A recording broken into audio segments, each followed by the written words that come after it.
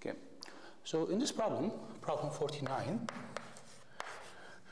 uh, we have a continuous charge distribution in the form of a circular arc of radius r and it extends over some angle 2 theta naught and we are given the linear charge density for this circular arc and we are being asked the electric field uh, at the point that corresponds to the center of the circular arc. Okay.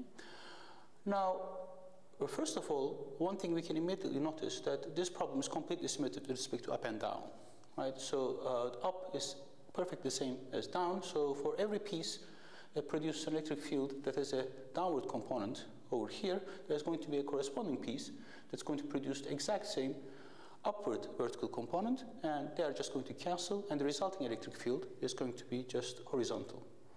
Yeah? So what we need to do is to calculate this uh, electric field due to little parts. So let's take one little part on the cube here and calculate the only horizontal component of that electric field and add those up. Or in this case, we're going to take an integral. Okay? So what kind of what kind of uh, electric field are we talking about? So let's just connect it over here. This is going to produce some dE this way, and it's going to have a dEx as such. Okay? And that uh, dEx is going to be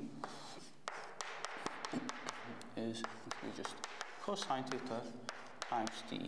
And that dE, the infinitesimal electric field due to this dq, is going to be the same uh, for all of them because they are all equidistant. So remember that dE is the magnitude of the electric field because they are all equidistant from this point.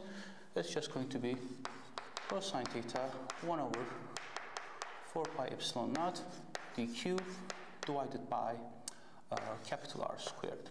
Okay?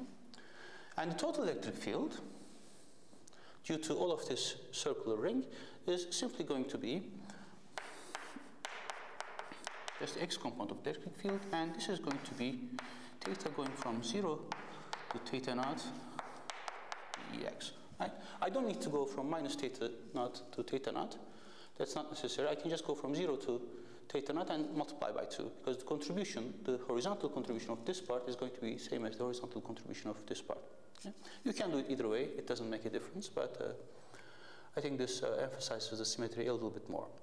So because we are integrating over theta, what we need to do is that we need to write this dq in terms of that theta, and then we already have this theta over there, but we can take out this 4 pi epsilon naught and r square outside the integral sign. So how do we write that? dq in terms of theta? Well, dq, because this is one-dimensional continuous charge distribution, is just going to be lambda dl, uh, dl being the length of this little segment that we are taking and adding up. And that dl can be written in terms of theta.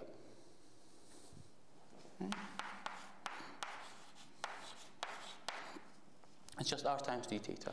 A circular arc, if you're using uh, you're using uh, radians for angles, is just equal to the the length of the circular arc is equal to the radius times the angle corresponding to that arc. So this is the angle corresponding to the arc, d theta, and this is the uh, radius. Right. So what you need to do is put this in. So as I said, these can be taken out. but these need to be kept. Theta and one of the r's, in fact lambda r, can be taken out and theta. And that's going to give you the x component of the uh, of the electric field, which is all we need. By the way, I have chosen x to be the horizontal component. I forgot to mention that. Uh, it gives the horizontal component of the electric field, and the vertical component gets cancelled by symmetry.